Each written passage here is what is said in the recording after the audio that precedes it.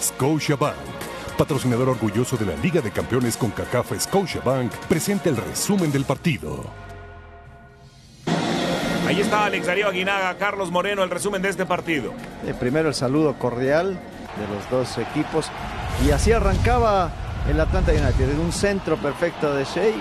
El rebote de mala forma de Omar Arellano con fortuna para que José Martínez anote el primero minuto. Bueno, 48 segundos y, caí, y caía el primer gol de, de este equipo del Atlanta United que fue superior en todo el tiempo que estuvo en la cancha, lógicamente. Cuando tuvo las ganas de anotar el tercero y el cuarto, lo hizo. Los dos primeros muy rápidos. Sí, el segundo cae al minuto 10 de tiempo corrido cuando ya habían vuelto a probar al guardameta del conjunto visitante. Una vez más va a aparecer Arellano, le rebote el esférico, prosigue la jugada hacia el frente, buena combinación y termina en las redes. Ahora el disparo es de Gressel que ya había marcado en la ida, marcó también en la vuelta.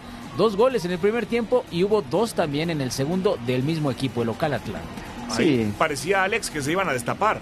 Sí, parecía que iban a caer más goles en esa primera mitad, soportaron la carga y para la segunda mitad, qué pase, ¿no? La verdad de lo, que realiza y después eh, la complicidad del, del, pase para la red nada más de José Martínez después de, de otra vez esta actuación de Shea, ¿no? Impresionante el 3 a 0 cuando apretaron un poquito el acelerador porque ya estaban consintiendo demasiado al equipo de Costa Rica. Costa Rica, eh, perdón, Herediano después hizo algunos, algunas variantes, intentó ir con todo, no le alcanzó porque la verdad eh, no, no, no tuvo prácticamente trabajo eh, el arquero Bradley Gusan y después viene el gol una jugada de tiro libre, rechazo, viene nuevamente el centro de Ezequiel Barco, el remate perfecto de Leandro González con la espalda de Keiner Brown, 4-0 definido.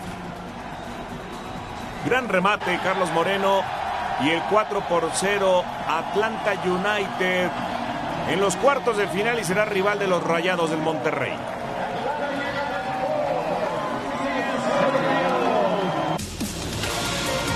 Scotiabank, patrocinador orgulloso de la Liga de Campeones con CACAF Scotiabank, presentó el resumen del partido.